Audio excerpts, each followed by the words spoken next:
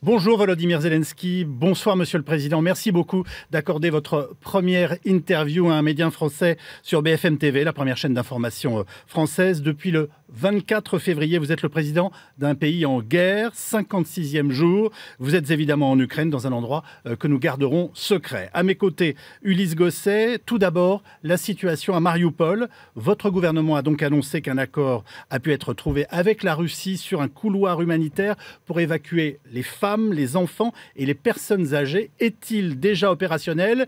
Ces évacuations vont-elles pouvoir rapidement commencer? Дуже дякую за можливість сьогодні поспілкуватися з вами. А, перш за все, хотів би деякі уточнення.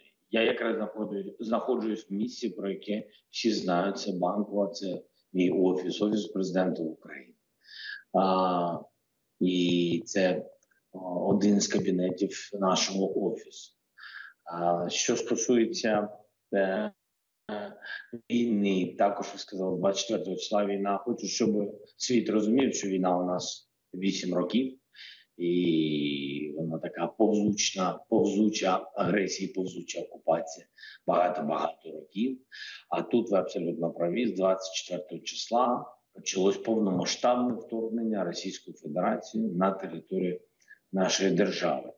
Різна з, з різна війна 14-15 року початок з точки зору кількості е, кількості військових, кількості збройної техніки і кількості жертв на всій території. Хоча при цьому 15 е, тисяч людей з початку війни 2014 року загинуло. Зараз в рази більше людей гине. Це є правда. Е, і гине перш за все сьогодні, після того, коли було відновлення життя в Києві в Київській області, більш-менш відновлення, тому що ракетні удари продовжуються. То найбільш складна ситуація саме на сході нашої країни, на Донбасі, де і була е, всі вісім років е, контактна лінія з тимчасово окупованими територіями, яку захопили бойовики і Російська Федерації. Евакуація там а, продовжується багато днів. Вона продовжується за бажанням людей. Людям готує уряд, держава і місцева влада транспорт, щоб забезпечити всіх бажаючих. Так на останні дні е, більш наполегливі з точки зору інформування населення стала влада і місцева влада, у тому числі, тому що люди повинні знати, що а, починається великий наступ, тому що все угруповання з боку Російської Федерації воно зібрано з їх боку. Це тисячі танків, тисячі бронетехніки і десятки тисяч військових. Monsieur le Président, vous avez entendu cet appel de Mariupol des soldats qui sont sur place, assiégés, et qui disent Nous vivons nos dernières heures. Est-ce que vous avez encore l'espoir de pouvoir euh, continuer euh, le siège et de tenir le siège pendant plusieurs jours Est-ce que l'armée ukrainienne pourrait intervenir ou bien est-ce que la situation est quasiment désespérée pour ces soldats qui sont euh, encerclés par les troupes russes Робимо все, що можемо. Дійсно, вони заблоковані навіть не в військовому форматі, тому що заблоковані місцеві люди. і діти, і люди похилого віку, І військові заблоковані в місті Маріуполь. Це більше схоже знов таки не на війну, а на таку терористичну операцію з боку Російської Федерації щодо Маріуполя і жителів цього міста. А там зруйновано все. 95-98% всіх будівель всього, що там є. Ми говоримо з вами школи, дитячі садочки, звичайні житлові квартали, заводи, набережна, та це ж морське місце. Все. Тобто, ви розумієте, якщо 3-4% щось живого там залишилось, це максимум, це так воно і є. Вони йде бомбардування із літаків і бомбардування йде також враження артилерією і ракетами, і вони стріляють всюди по цьому місту, і тому а, велика кількість людей вони бояться навіть виходити. Друга причина, що деяка кількість людей вирушила в бік е, території, яку контролює Україна, в бік Запорізької області, а деяка частина людей була евакуйована в бік тієї території, е, яке контролює Російська Федерація. Всі ці тисячі людей, які поїхали в бік Російської Федерації або окупованої частини України, ви повинні це знати. Всі ці тисячі людей зникли. Всі діти, всі дорослі, вони всі зникли. Вони знаходяться зараз в різних містах, в містах. Ми знаємо в, в таборах спеціальних на російській території, а дехто просто зник. На сьогодні від 3,5 до 5 тисяч дітей, які вирішили в той бік, зникли. Безвісті діти. Це страшна трагедія. Це щоб уявити масштаб цієї трагедії, я вам кажу реальні просто факти, деталі і цифри. Люди, які сьогодні знаходяться на на е, заводі, які е, не дають захопити останню частину е, цього маленьку частинку, цього повністю зруйнованого міста. Це наші і прикордонники, і нацгвардійці, і багато багато інших там є. І поліцейські, там багато, там десь тисяча живих людей, місцевих жителів, просто жінок, які ховали з дітьми, тому що бояться вийти з того міста, вийти, тому що місцеві люди, які виходили, збивали їх навіть снарядом. Тобто там просто розриває людей. Тому ми треба зрозуміти, що ці тисячі людей вони там є наші, наші люди. Питання щодо того, що йдеться на години, це правда, тому що ми не знаємо, скільки годин або скільки декілька днів вони можуть там протримати. Що стосується нашої армії, дійти ці окуповані 120 кілометрів сьогодні е, нам е, не дає техніка Російської Федерації, щоб військово сьогодні дійти до військового розблокування міста Маріуполь. Це є правда. Ми на сьогодні зробити це не можемо. Гуманітарні коридори ми домовляємось і відкриваємо, і деякі люди туди виїжджають. Але та кількість тисяч, про які я вам сказав, вона там заблокована, і і вони поки що Росія не дає можливості цим людям вийти з цього а, полону. Vous venez de, d'écrire une situation euh, épouvantable à Mariupol, Monsieur le Président. Le Pentagone, lui, annonce la livraison d'avions de chasse et de pièces détachées euh, pour l'armée de l'air ukrainienne. Est-ce que vous nous le confirmez? S'agit-il aussi d'armes lourdes? On évoque des MiG. Euh, est-ce que vous y voyez un changement de ligne majeur de la part des Occidentaux?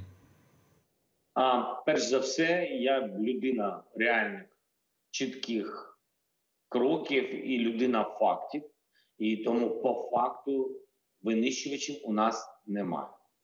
Жодного постачання будь-яких будь-яких літаків у нас ще не було. На сьогодні я підтверджую, що потеплішало відношення з заходу, і ми дуже на це надіємось. І ми бачимо щодо намагання збільшити підтримку і в напрямку важкої техніки, про яку ви сказали, і ми очікуємо це і думаємо, що це є правда, і все це буде у нас. Поки що ми маємо те, що маємо. Donc, vous n'avez pas de date pour l'arrivée de ces renforts. Est-ce que vous avez en revanche des garanties У нас є попередні дати і є попередні гарантії, але з чого почав я тим і закінчив в цьому питанні, що ми хочемо отримати і потім ми дійсно будемо вдячні. Перш за все, будуть вдячні заблоковані люди. Alors, la France a toujours refusé, Monsieur le Président, de préciser quel type d'armes elle livre à l'Ukraine. Est-ce que ces armes françaises vous arrivent en quantité suffisante et est-ce que ce sont les armes que vous attendiez Ми вдячні Франції за те, що вона нас підтримує, і іншим країнам Європейського Союзу. Вдячні І Британії, і Сполученим Штатам Америки. Що стосується а, конкретики щодо Франції, ми отримали медичну допомогу, отримали гуманітарну допомогу, і ми дуже очікуємо на військову допомогу. Це є правда, і ми бачимо листи щодо конкретних речей, і ми ми, ми чекаємо на це. Скажу вам відверто, очікуємо. І я, я вірю народу Франції і вірю а керівництву вашої держави, що ми все ж таки зможемо все це отримати, і це збільшить потужність нашої обороноздатності. En tout cas, j'ai bien compris que pour l'instant, cet armement français ne vous est pas parvenu. Ulysse Gosset. Mais plus précisément, Monsieur le Président, quelle arme française euh, avez-vous demandé Et vous nous dites aujourd'hui que vous n'avez pas reçu, par exemple, de missiles français ou d'armes de, de défense antiaérienne françaises. Est-ce que vous pouvez nous confirmer cela Деякі речі ми отримали. Що стосується а, про деталі, я не готовий про це говорити. Скажу вам відверто. Є речі, які ми очікуємо, і на які ми дійсно дуже очікуємо. І ми отримали сигнал, що в нас буде можливість це отримати найближчим часом. Alors, Monsieur le Président, parlons maintenant du Donbass. Euh, la grande offensive russe euh, redoutée a commencé. Quel est le point de la situation militaire aujourd'hui, après 48 heures euh, Et est-ce que vous attendez ou redoutez une longue bataille dans le Donbass Et comment allez-vous faire face à l'armada russe qui est déployée dans cette région de l'Ukraine Складно сказати точно, що 48 годин тому це почалось. 48 годин тому я можу констатувати, що вони були готові до повномасштабної битви. Якщо це те, що почалось, і це є повномасштабним, то це загрозливо для нас, але ми це витримаємо. Скажу вам відверто. Але ми розуміємо, що ще не все вони підключили через багато різних причин, через свою тактику. Ми її чітко розуміємо. Якщо у нас буде зброя, ми не будемо це боятися. Але тим не менш, хочу вам сказати, навіть зараз ми знаходимося в позиції, коли налаштованість, об'єднаність наших збройних сил і нашого народу тільки на захист нашої держави. Ми ніколи на них не наступали. Завжди було питання саме оборони нашої землі.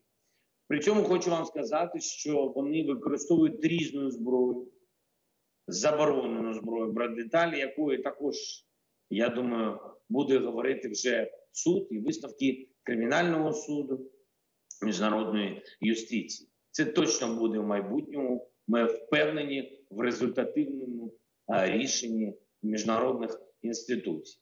А, також ці речі ми готуємо. Тут з цього боку я хотів якраз подякувати французькій стороні, тому що після того, що у нас там було в Бучі, у Бородянці, наша прокуратура зверна, зверталась до французьких спеціалістів. І Вони приїхали. Мені доповідала наша а, генеральна прокурор. Вона доповідала, що вона працює на місцях. Прокурори наші співпрацюють з французькими колегами. Це також підтримка. Ми вдячні всьому, що додає нам захід. Euh, mais sur le Donbass, Monsieur le Président, est-ce que c'est la bataille décisive de cette guerre Est-ce que euh, si vous gardez le Donbass, vous pourrez gagner la guerre Et puis, vous dites que, vous utilisez, que, les Russes, que les Russes utilisent des armes non conventionnelles. De quel type d'armes parlez-vous Перш за все, я хочу сказати, що е, ви повинні зрозуміти, як це відбувається. Наприклад, ми візьмемо з вами маленьку місцевість під назвою Волноваха, і яку вони зайшли, і яку вони знищили. Вони знищили всі будівлі. Ви повинні зрозуміти, як це відбувається на Донбасі. Просто всі. На сьогодні жодної людини там немає. Може, десь під обламками хтось ще може бути, але по наших даних, по нашій інформації, немає людей. Хто не побіг, хто не зміг евакуюватись, їх немає. От було місто Волноваха, і його немає. Саме саме таким чином вони діють. Саме з цього приводу я вам сказав, що я не впевнений, що зараз йде повномасштабна битва на Донбасі. Тому що так як вони діють, ми бачили і бачимо саме на Донбасі. Вони йдуть і міста не залишають. Маленькі міста вони не окуповують, вони їх переїжджають. Просто повністю їх переїжджають. Там нічого немає. Нічого. Я навіть не знаю, в чому питання того, що вони їх окуповують після того, як коли вони проходять. Кого? Нема будівель, нема людей. І, і чесно, вчора мені сказали, е, доповідали військові, була битва велика зарубіжне. Рубіжне називається містечко, і ще декілька їх. Там просто все знищено. Абсолютно все знищено. Щодо бомб, використовується різна бомба. Ми перевіряємо хімічну зброю, використання хімічної зброї з боку Російської Федерації. Знов таки повернусь до того, що ми виступаємо як люди справедливі і базуємось на фактах.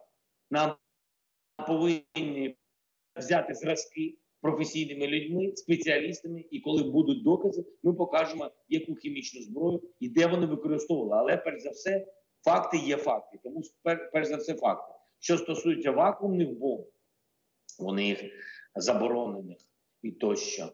Вони їх використовували спочатку Харкова і в інших містах. Тих прикладів вже вже багато. Там нема що доказувати, там вже все доказано. La perspective du 9 mai en Russie vous inquiète-t-elle et ne craignez-vous pas un renforcement du coup des attaques russes euh, à, lors de cette date Ми розуміємо, що е, е, керівництво Російської Федерації дуже любить символи. І мені це нагадує деяких інших керівників держав, які займалися війни, які також прив'язувалися до нумерології, до символів, до спеціальних дат тощо. Ви знаєте, ми не боїмось саме 9 травня, і ми спокійно відносимось до того, що Росія може підготувати якесь, якусь спеціальну військову дію, щоб отримати перемогу, начебто ну, для них перемогу, і яку показати всім на 9 травня. Ми чули також, що вони дуже хочуть провести і готують вже 9 травня провести в Харкові, провести 9 травня. Ой, не в Харкові, вибачте, будь ласка, в окупованих частинках Харківської області, там де вони б'ються, в Херсоні, в Херсонській області і в деяких інших окупованих, вже окупованих містечках містах. Я вважаю, що це ще одна велика помилка Росії, велика помилка історії Російської Федерації, так само, як і битва за російську мову, коли за російську мову вбивають людей на сході нашої держави, які в більшості своїй були російськомовні, і тепер вони з ненавистю дивляться на все російське. Така сама проблема буде і з 9 травня.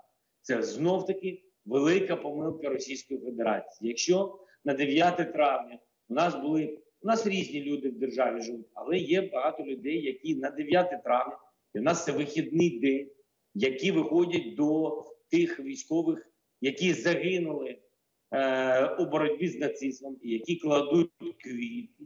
І цей день вихідний. Якщо на 9 травня вони будуть проводити свої паради в окупованих українських містах, вони поставлять хрест на 9 травні, в принципі, і на території України. Це ще одна велика історична помилка Російської Федерації і їх сьогоднішнього керівництва. Все, що в нашій державі до цього відносилось з позицією, з е, підтримкою, все те, що було там, е, до деяких речей важливих історичних, вони все на сьогодні Росія робить, щоб люди все це ненавидили. Ось що вони роблять своїми постійними рішеннями. Monsieur le Président, vous vous adressez ce soir aux téléspectateurs français sur BFM TV. Emmanuel Macron a été sévèrement critiqué pour avoir maintenu euh, ses conversations avec Vladimir Poutine. Le président du Conseil italien lui-même s'interroge sur l'utilité de ce dialogue alors que Poutine poursuit son invasion euh, sans retenue. Bref, faut-il continuer de parler à Vladimir Poutine?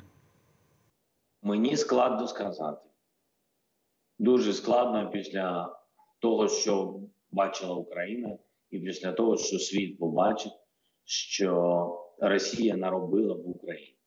Я думаю, що Еммануель він також він також розуміє, що надії і діалог з президентом Путіним під великим. По-перше, під великим питанням після того результату, про який я тільки що сказав, і під великим питанням через те, що немає результату щодо висновків з цього діалогу. Скажу, е, що в Нормандії в 19-му році на зустрічі в Парижі, там де була пані Меркель, Еммануель, я був і президент Росії, я вважаю, що там був результат. Він може був не остаточний, не 100%, але тоді забрали людей, обміняли людей, і був режим припинення вогню, і він працював. І декілька багато достатньо ділянок на, на контактній лінії між нами і окупованою територією були розміновані.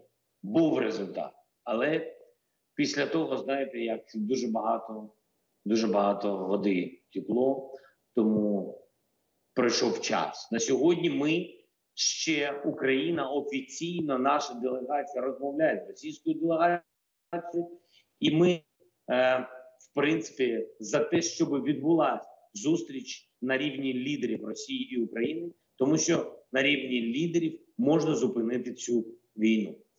І тому поки що так. Але з кожним днем, з кожним, з кожною такою бучою, з кожним Маріуполем, з кожною такою Волновахою бажання і віра в те, що буде результат наших перемовин, втрачає, втрачає і втрачає.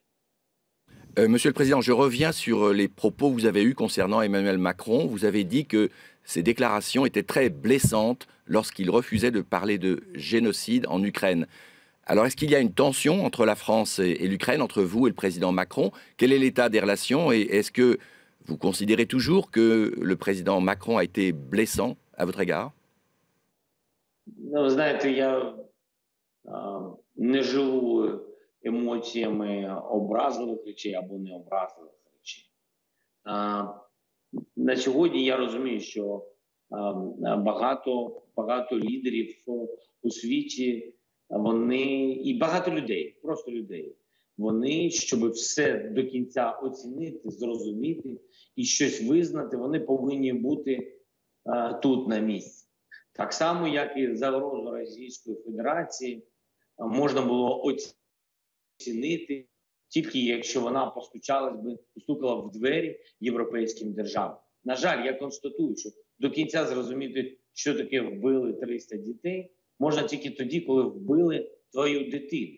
Я не бажаю цього ні вашій державі, ні Німеччині, ні Польщі, ні будь-якій державі. Я цього не бажаю, тому що це втрата сенсу життя.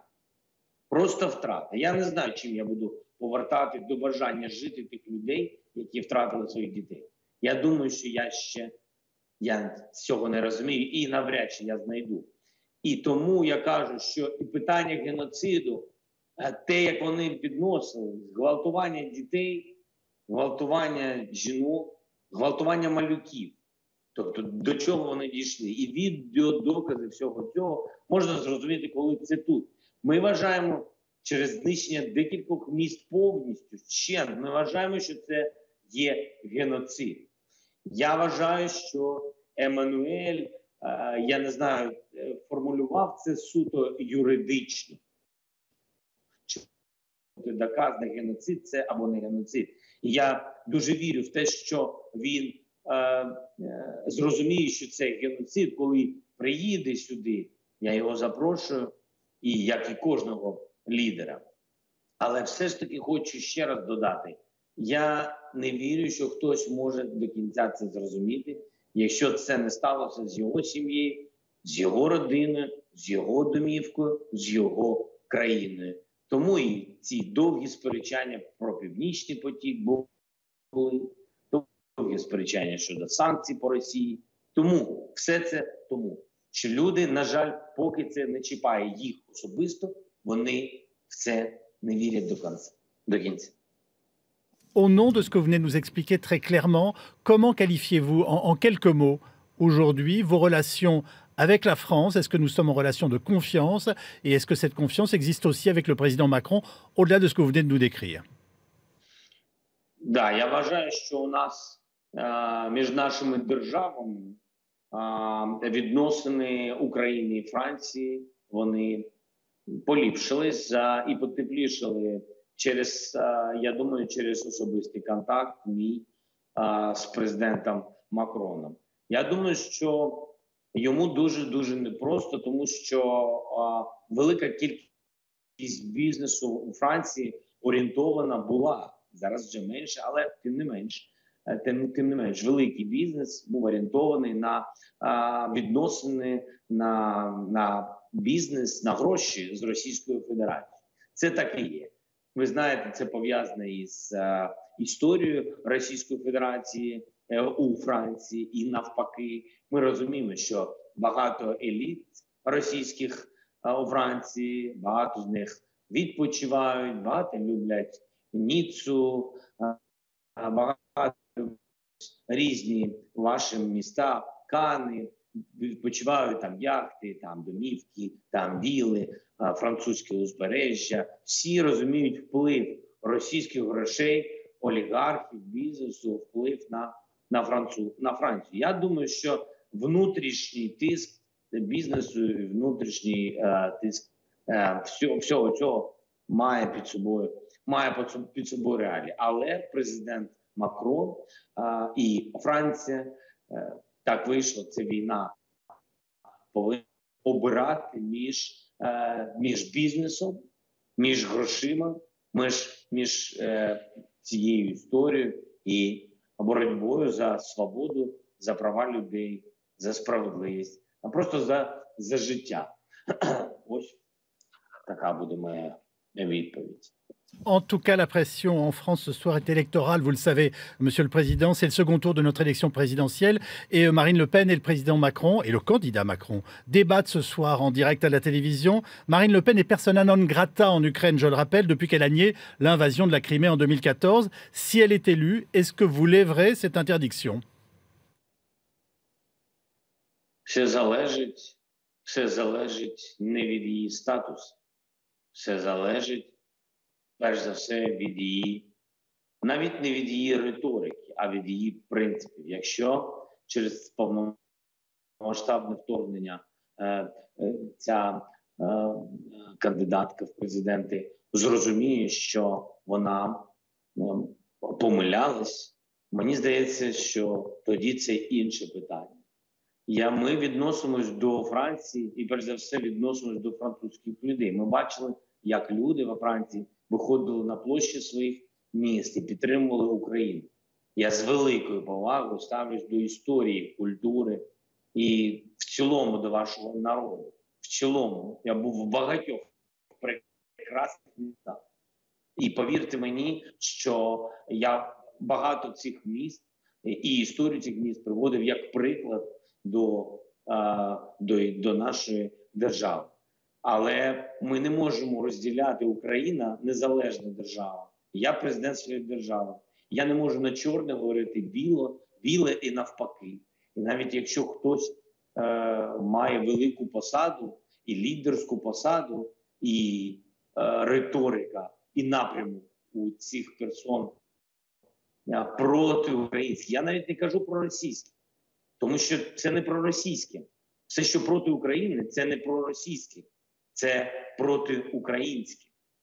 І тому я вважаю, що ми маємо реагувати на будь-яку риторику і кроки проти українських, тому що ми собі не можемо навіть дозволити говорити проти Франції, тому що ви суверен, ви окрема держава із зі своєю ще раз повторюю поважною історією.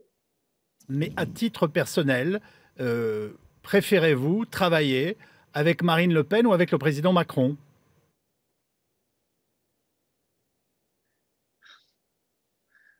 А,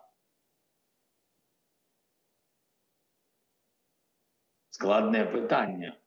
Я просто не впевнений, що я маю право сьогодні своїми словами впливати на те, що відбувається у вас. Мені здається, що це політично е, не дуже правильно. У мене точно є стосунки.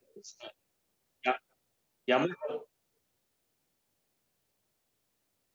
я маю на увазі, що у мене точно є стосунки з Еммануелем Макроном, і я скажу так: я не хотів би їх втратити. Je crois que cette réponse est claire. Euh, Monsieur le Président, une question qui est très importante pour l'Ukraine et, et pour le sort de, de l'Europe.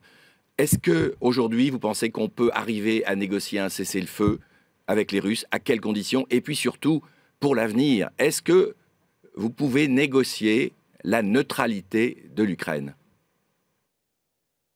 Все залежить від деталей, пов'язаних з пов'язаних з тим, що буде відбуватись у нас щодо ескалації. Раз.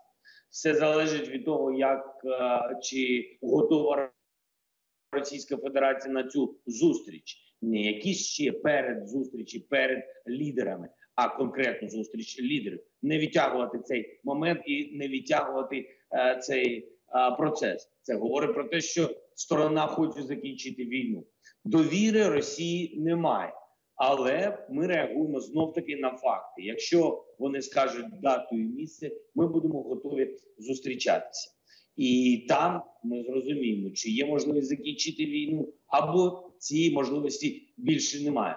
В чому я впевнений, що а, зустріч лідерів України і Росії точно може відповісти, чи буде хоч ще хоч якийсь шанс щодо зупинення цієї війни. В цьому я майже впевнений. Mais alors, plus précisément, est-ce que vous êtes prêt et est-ce que vous demandez à nouveau ouvertement sur BFM TV de rencontrer Vladimir Poutine Est-ce que vous voulez le voir pour parler avec lui justement de la neutralité de l'Ukraine, du statut du Donbass Est-ce que vous souhaitez cette rencontre avec le chef du Kremlin Ми готові до всього. Ми готові обговорювати питання окупованих територій. Питання Криму треба вирішувати. Треба. Питання Донбасу треба вирішувати. Однозначно треба вирішувати. Питання відведення військ за територію а, нашої держави.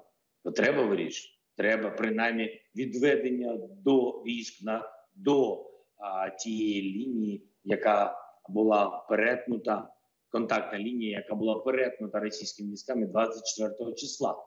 Проміжні такі кроки вони повинні бути зроблені з боку Російської Федерації, але це їх кроки, це їх кроки назад. Не можна йти вперед до миру і при цьому йти військами, продовжувати чинити тиск і йти вперед. Це точно, це точно не змінить нашої позиції у будь-якому випадку, і це точно не про діалог. Ми декілька разів говорили, і я говорив, і в медіа ми говорили, що я інший президент, ми інша держава. Ми всі об'єднані тим, що ми дуже любимо Україну. І тому говорити ми завжди за діалог, тільки підтримуємо. Але якщо Monsieur le Président, ça veut dire qu'aujourd'hui, il n'y a pas de face-à-face possible avec Vladimir Poutine. C'est trop tôt, ce n'est pas possible en raison de la guerre. C'est ce que vous nous dites Дивіться, я не знаю, як переклали те, що я сказав. Все дуже просто. Щоб, щоб ми сіли і почали говорити, треба його бажання. Його бажання. Раз. Друге, що потрібно, треба припинити стріляти, тому що ніхто ні до кого не доїде. Я не кину держави, поки йде вогонь. Це два.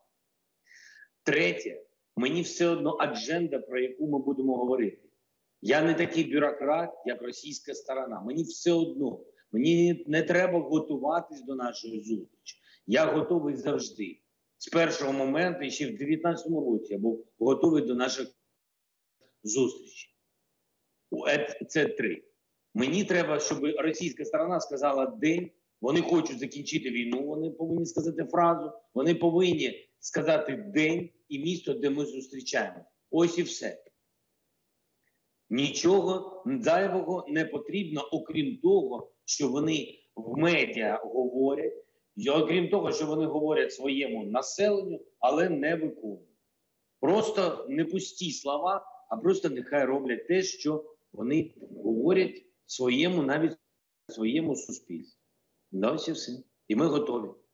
Pouvez-vous faire preuve d'optimisme d'une quelconque façon ce soir euh, dans la terrible situation qui est celle de votre pays Et ce sera ma dernière question. Euh, quel est le message que vous souhaitez adresser euh, ce soir au peuple français qui vous écoute sur BFM TV А вже ж я оптиміст. В випадку я не був би лідером України. В іншому випадку ми би не були об'єднані бажанням перемогти. В іншому випадку а, ми були б розірвані Російською Федерацією. І в цьому оптимізмі є міцність і віра в нашу перемогу. Тому ми точно переможемо. Питання часу, питання ціни. На жаль, питання кількості жертв. На жаль, я повинен це сказати і ще раз повторити: на жаль, бо нема, бо немає в житті нічого більш дорогого, ніж життя людей. Я дуже хочу, щоб цей історичний момент для України і впевнений для всієї Європи, тому що ми знаходимося тут, щоб знала Французька Республіка, що щоб вони не обирали баланс між Україною і Росією, щоб вони знали, що вони обирають тільки правду. Сьогодні права України абсолютно чесно, абсолютно на своїй землі, абсолютно втрачаємо своїх людей. Ми абсолютно праві. Не на 99%, а на 100%. На 100%. І на 100% ми захищаємо з вами спільні цінності. Я дуже хочу, щоб цей історичний момент Франція була на нашому боці. Ми держава, яка не розуміє сірої зони, тому що за 8 років сіра зона завжди була зона між окупованою територією України і неокупованою нашою територією. Сіра зона в ній немає життя, в ній немає майбутнього. Тому я і прошу вас не обирати сіру зону, не обирати ніякий баланс, а обирати правду. Правда на боці України. І це чесно. Я думаю, що від вашого вибору залежить багато речей, але це ваш вибір.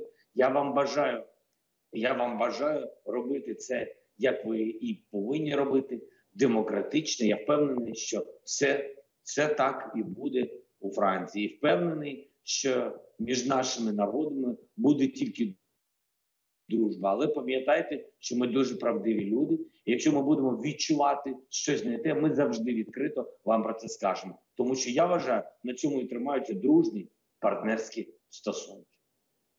de. Nous l'espérons aussi et nous retenons ces euh, mots prononcés en français sur BFM TV. Je suis optimiste. Merci beaucoup Vladimir Zelinski euh, d'avoir pris la parole ce soir sur BFM TV, de vous être adressé donc directement aux Français qui vous écoutent. Merci infiniment Monsieur le Président. Merci beaucoup.